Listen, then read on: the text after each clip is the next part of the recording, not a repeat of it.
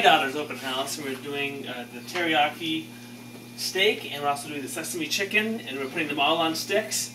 And uh, I recommend not putting them on sticks. It's just so much work. But it's going to taste really good. We also have made a boatload of peanut sauce and teriyaki sauce, and my wonderful wife's making salad. So it's a crazy day here. We're doing lots of cooking. But uh, yeah, the, so the tip is probably just to cook the meat without the sticks. Okay, as you can see, we have a boatload of chicken on sticks, and it's going to be hard to store.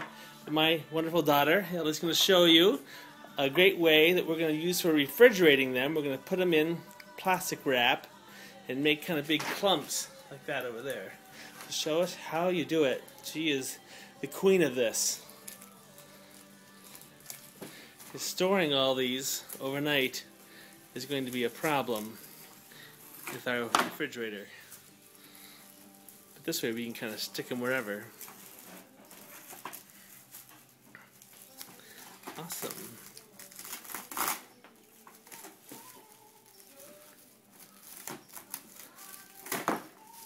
And that is how you do it. Awesome, thank you. So this is all the satay. It's all wrapped up, ready to keep for tomorrow. Tomorrow we're going to warm it up on the grill. Uh, I think we've made about 500 of them, uh, both the steak and that chicken with the Litehouse dressing that you've seen. So this is uh, what we're going to do. Wish us luck.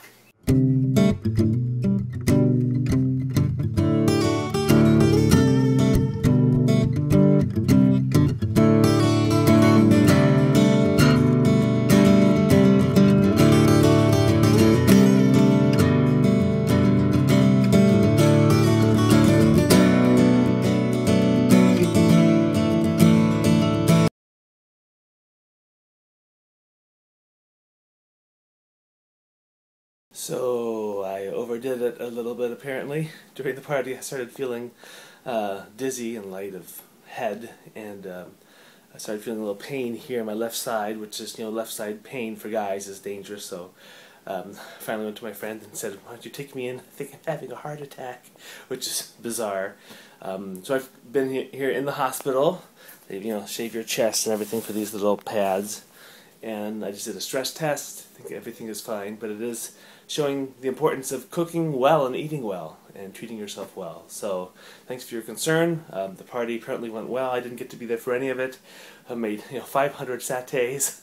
All of them are gone, and um, but I uh, I didn't get to have a single one. So maybe maybe next time. Don't worry about me. I'm doing well. Keep doing videos. Cook well. It's worth it.